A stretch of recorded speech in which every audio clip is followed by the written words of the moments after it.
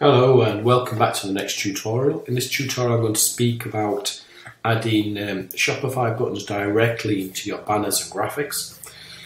Now if you come across to Shopify and find the buy button, it's uh, in the settings section. All you need to do then is you got you can embed a product, you can embed a collection or you can embed a product into email. Forget about these, these are the two that you need.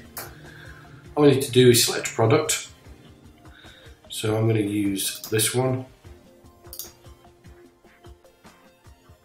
Uh, you can alter this as you want, change the um, you can product, etc. You can just have a buy button if you want. Obviously this one's out of stock, I've got none in. Let's go back and create one that's in stock. Um, use this one. So if I just wanted the buy button, I can just use the buy button. That'll take you directly to the product, or I can product image and price and button, etc.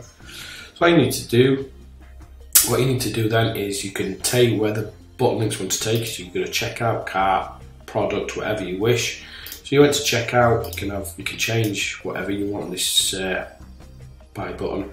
What I'm going to show you here is all you need to do then is generate the embed code once you've got the embed code, all you need to do is copy that. Come back to Pixel, go to embed, paste your code in there. Again, it's smaller than 500 by 400, so you don't need to alter those.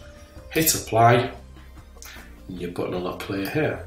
And that takes you directly to the cart for that product. So you can have a product showcase here and you can have the buy button for Shopify directly on your banner. Okay, thank you, and uh, I'll see you on the next uh, tutorial.